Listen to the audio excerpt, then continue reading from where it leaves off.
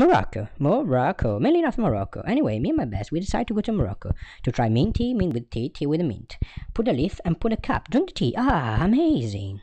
But before I went to Fez, big city, we found a fake guide, pay four pounds, made angry man, climbed the top, and oh, what a view.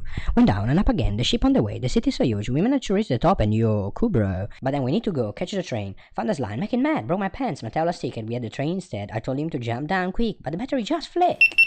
Camera down, went home, charged it up, Chefchaouen. C H E F C H A O E N. Chefchaouen is the blue city. Chefchaouen, Mateo runs up, time lapse start, buzz, quick, flip, blue, no people, early morning, cool sun, cool stuff, no bluff. We took some pig, more pig, more pig, and then click, click, click. Mateo's back going down, walking along, Mateo gone, lonely me, lonely click, back to Rabat, lost the sky, only cloud, Canada wall, almost full, try again, going back, left side, here's a tower, flip it up, going back, walking down, zero down, not full, that's a door, oh my god, oh my god. Why, what are you doing, running up, climb the thing, come on, a little bit, a bit more, oh, peace, finally, this is it. It's Morocco.